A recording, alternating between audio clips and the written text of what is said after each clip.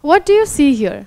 Well, you see one of the most amazing or most beautiful wonders of the world and that is the Taj Mahal in India. You see a difference in color in both the pictures, right? You see that the Taj Mahal has eventually turned yellowish in color over the years. Why so? This is the result of chemical weathering, another type of weathering we learn about today. So chemical weathering comes along with decomposition of the chemical constituents of rocks. Yes, so what exactly is decomposition? Decomposition of rocks takes place with the changes in the chemical constituents of rocks. So if you remember from the last video, we learnt about disintegration of rocks that does not involve any change in chemical constituents. On the contrary, decomposition of rocks takes place with the change in chemical constituents of rocks. Now, factors like temperature, moisture and many other such things cause minerals in rocks to either dissolve or change their composition.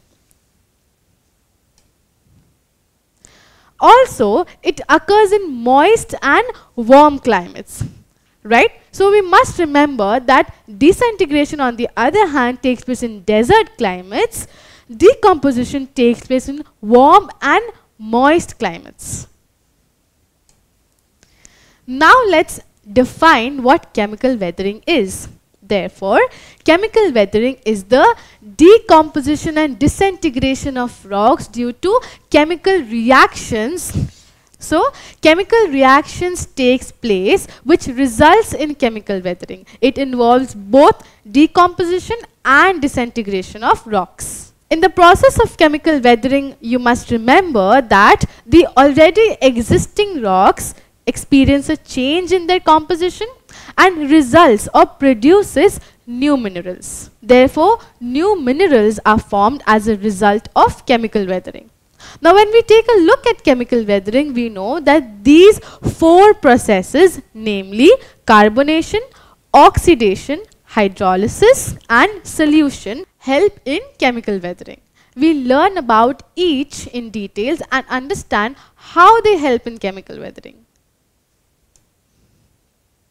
Right.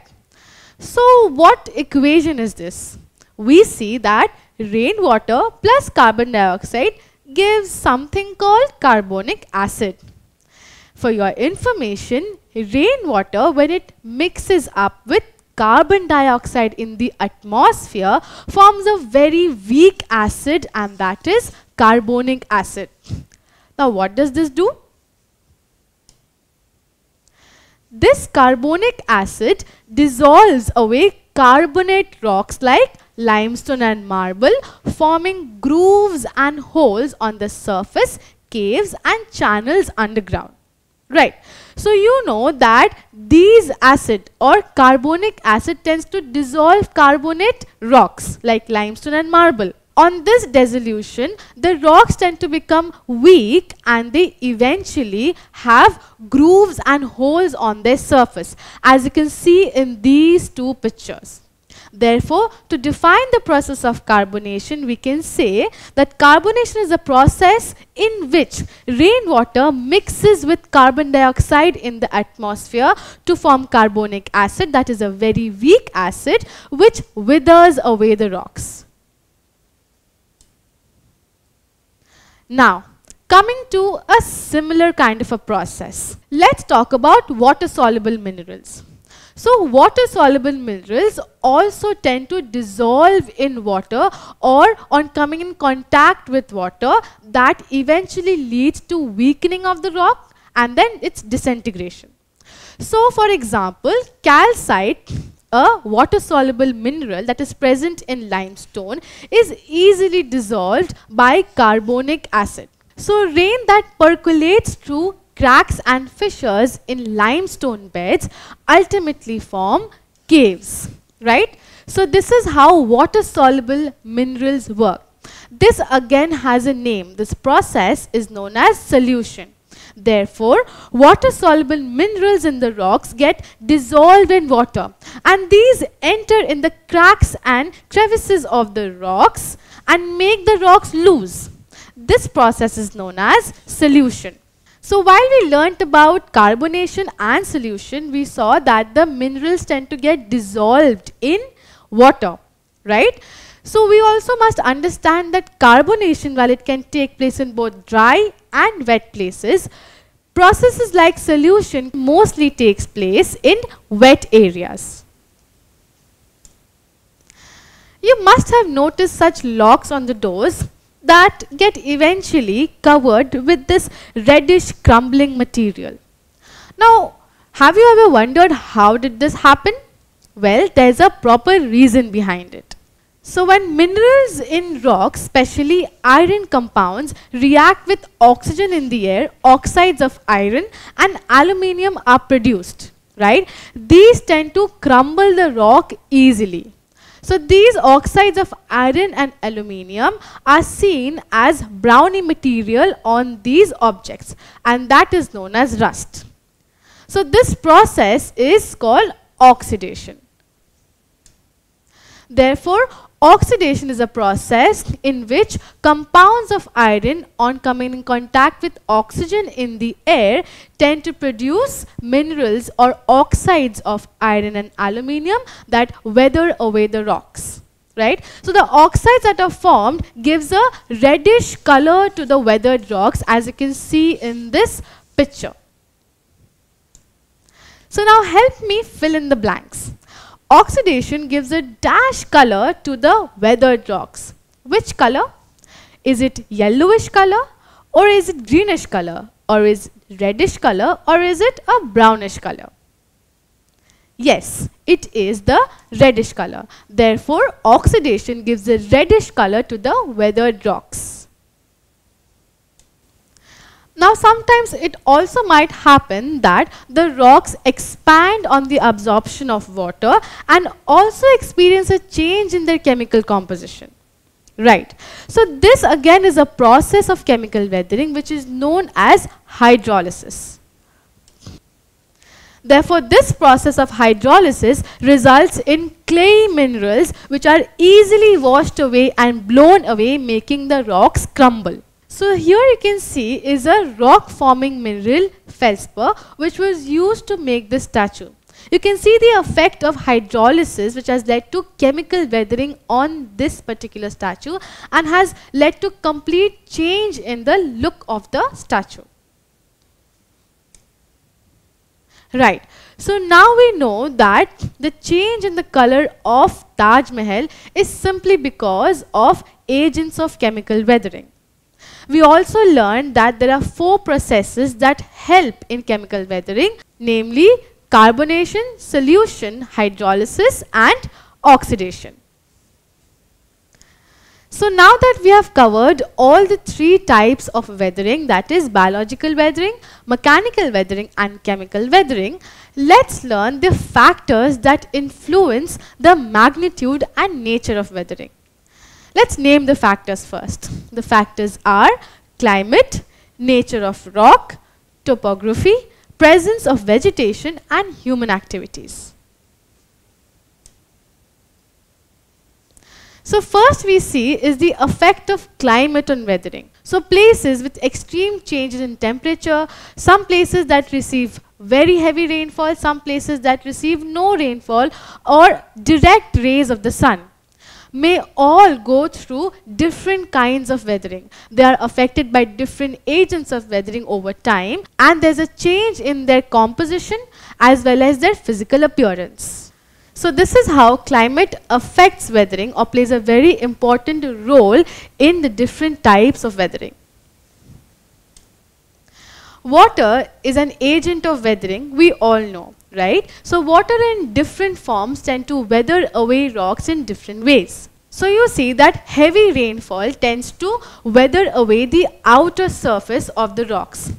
So heavy rain tends to put immense pressure on the outer layers, weathering away the rocks and further exposing the inner layers to the agents of weathering.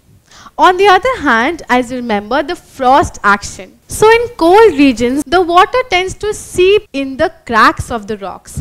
During night time, this water freezes and it expands, putting pressure on the rocks.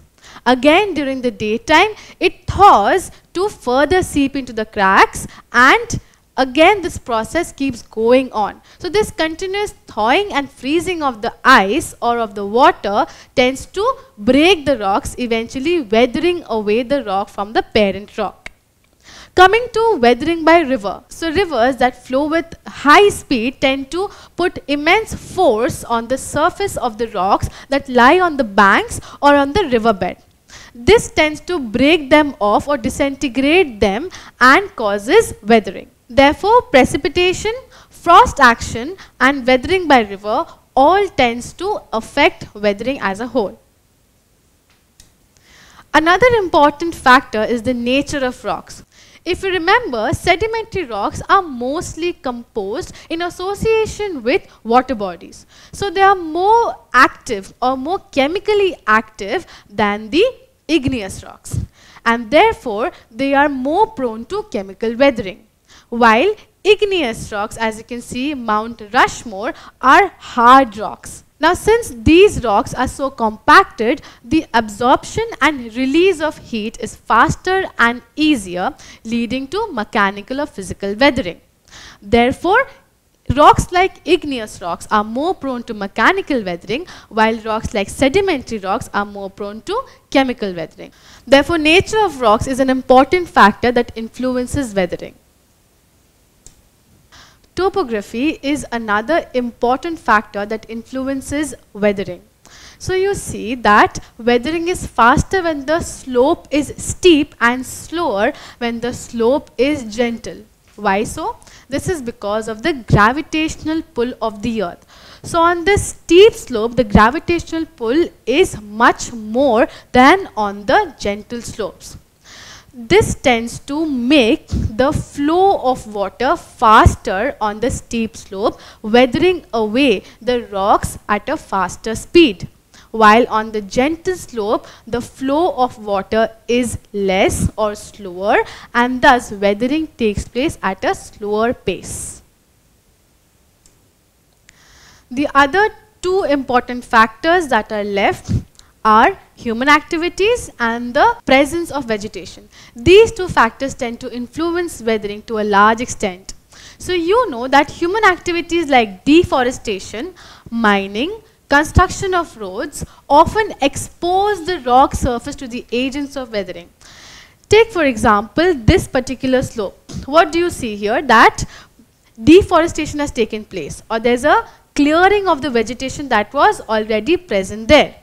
So due to the clearing of vegetation, there is absence of support for the soil. The vegetation that was present there was holding the soil more tightly, was holding the rocks more tightly, thus exposing them less to the agents of weathering. But now that the vegetation has been cleared, the land is clearly or more exposed to the agents of weathering. Thus, it only enhances weathering rate. A similar thing takes place when activities, human activities like construction of road, mining and quarrying is done that exposes the rock materials to the agents of weathering. Therefore, we should be very careful while carrying on with these activities. Therefore, in this video, we learnt about the third type of weathering that is chemical weathering. We also learned that there are certain factors that influence the nature and magnitude of weathering. Those being climate, nature of rock, topography, presence of vegetation and human activities. Don't forget to subscribe to our channel and hit the bell icon. You can also register for free at deltastep.com or download the DeltaStep app to learn one-to-one -one with our amazing teachers or to get access to all our 5000 plus amazing videos as per your school syllabus. Master each topic with our adaptive practice technology. Get million plus questions with step-by-step -step solutions and unlimited mock test. Get all your doubts resolved instantly. Learn via games and win amazing prizes like PlayStations and iPads. So at DeltaStep, learning is not just fun and easy, it is rewarding too. So register for free now.